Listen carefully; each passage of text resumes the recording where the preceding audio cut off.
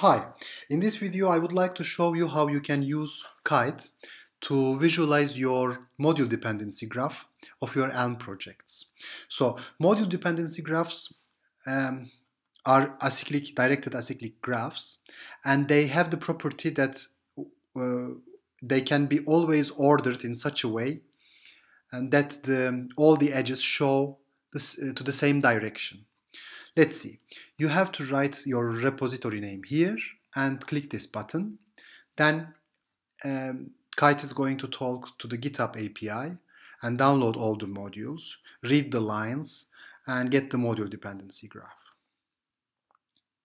So after getting it, maybe you apply the force.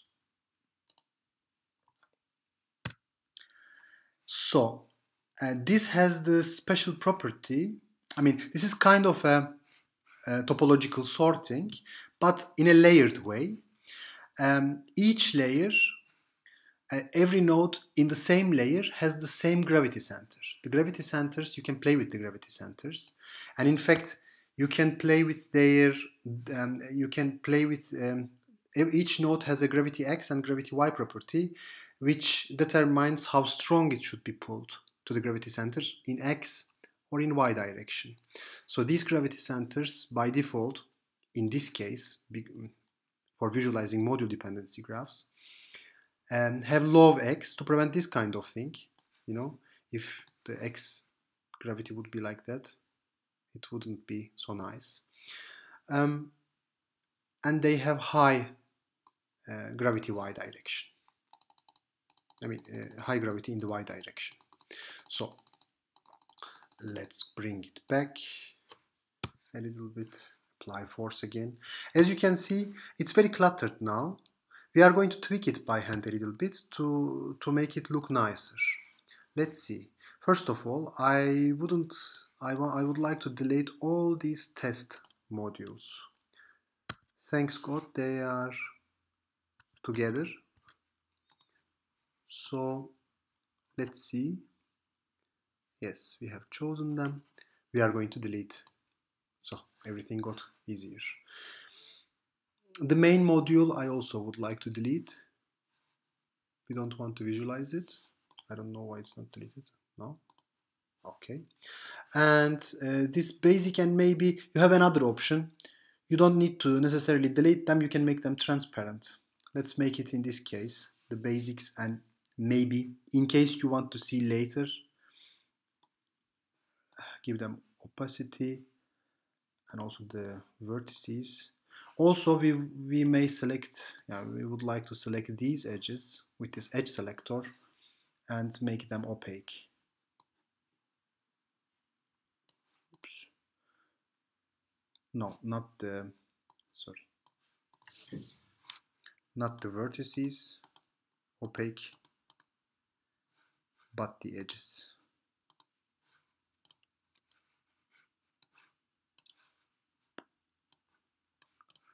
Now, maybe select a better color for the edges.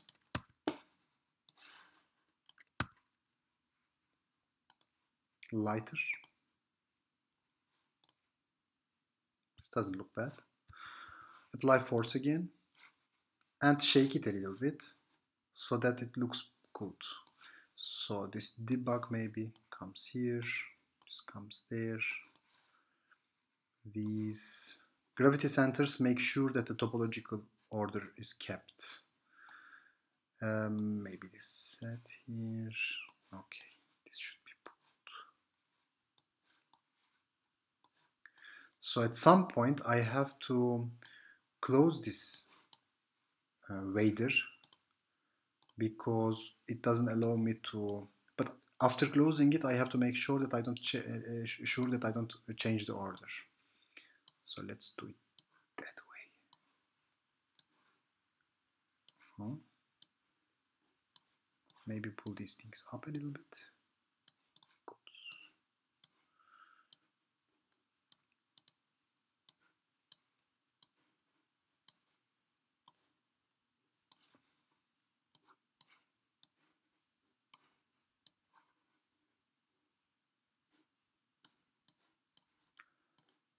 that.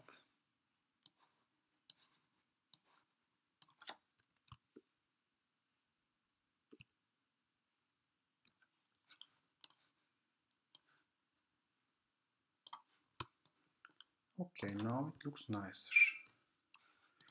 You can also select um, some you can also change the node, the positions of the node labels. For example, if you want this, this, that, it would be better if these node labels would be below there. This also. Or you can, for example, that and that. Maybe it would be better if they would be to the upper left and this and that maybe to the upper right right. Okay more or less. Now at least it's planar. It looks nicer. And you have an overview of your project. I hope it helps. With the bigger projects again but you have to work more with, with many modules. But if you keep the number of files small uh, in your project, which is not possible always, but uh, you can have a, a, nice picture of the model dependency graph. So tell me now uh, if, I mean, I would like to, I would like very much that you try this and tell me what is missing. you will encounter some problems. Tell me these. I can change the app so that you don't have these problems anymore. Thank you very much for watching and bye.